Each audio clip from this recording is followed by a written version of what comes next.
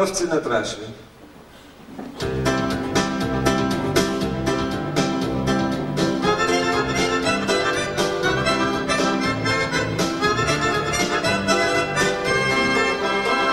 Z Białorusi do Warszawy znowu jedzie nasza grupa. Nie przeszkadza nam ciasnota ani zima, ani upał.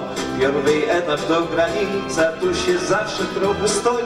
Prawdę mówiąc, nie tak długo, przejściu same swoi. Trzeba tylko wskazać bagaż i pokazać dokumenty. Zrobić minę niewiniątka lub uśmiechać się jak święty. Przewodniczka tak jak zwykle przykazuje nasze zrzutkę, więc kontrola jest pobieżna i mijamy pierwszą furtkę. Gdy za nami są szlebany, to Smirnowa otwieramy i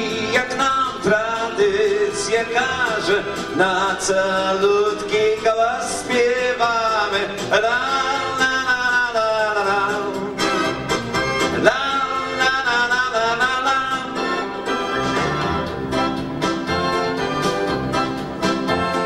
Czas się jednak przygotować, żeby wszystko było cacy. Bo widzimy drugą furtkę, przy niej stoją już paniacy. Znowu zrzutka, lecz tym razem my dajemy im zielone, bo towaru mamy mnóżko, a wożenie go wzbranione. Z niektórymi Polaczkami sprawy się załatwia łatwo. Z nimi tylko ma problemy mrówka, czyli facet z siatką. W naszej grupie takich nie ma. Nasza grupa to fachowcy. Nie lubimy amatorstwa, my turysty, zawodowcy. Gdy za nami są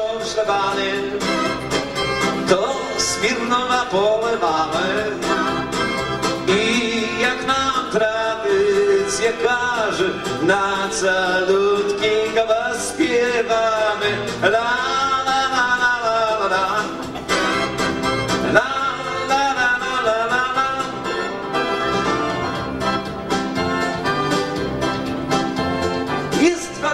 Potem stadion, na nim właśnie jest półmetek. Tam zostaje cały na półmetku mamy metę. Odbieramy świeży towar, pakujemy go do busa.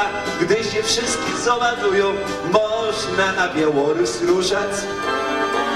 W drodze kuszą nas tirówki, a wiadomo co to znaczy. Nie ma grymia na amory, my jesteśmy przecież w pracy, więc jedziemy i jak inni cicho swoją kasę liczę, ale będzie tutaj głośno, gdy miniemy już granicę.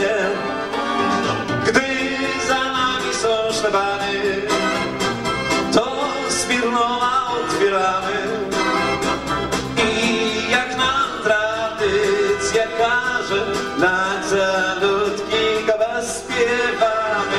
Gdy za nami są szlabany to z Pilnowa porwamy. I jak nam tradycja każe na calutki